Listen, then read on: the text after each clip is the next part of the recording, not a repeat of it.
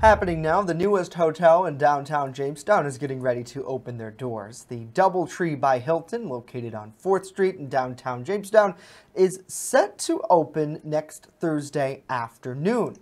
The 100,000 square foot hotel features 147 rooms, a pool, nearby parking, ballroom, and a full service restaurant that general manager Brandon Wade says is more than just for hotel guests. So it's a restaurant inside the hotel, but it's its own restaurant.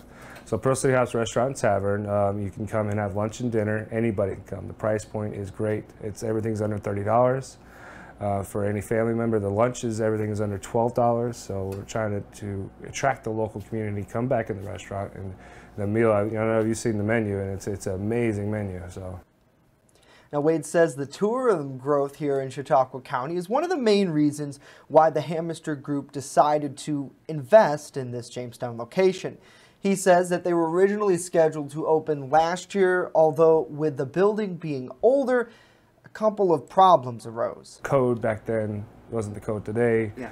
The building was left empty for a while, so things happen when you leave buildings empty. So we wanted to do it right, and when we find the issues, we said we couldn't, we didn't want to cover them up.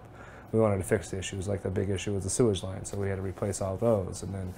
Of course, the old the old walls. So pretty much everything was taken down to bare bones, and so that takes time Yeah. and takes money. And so we have the money to support it, and just takes some time to get it done.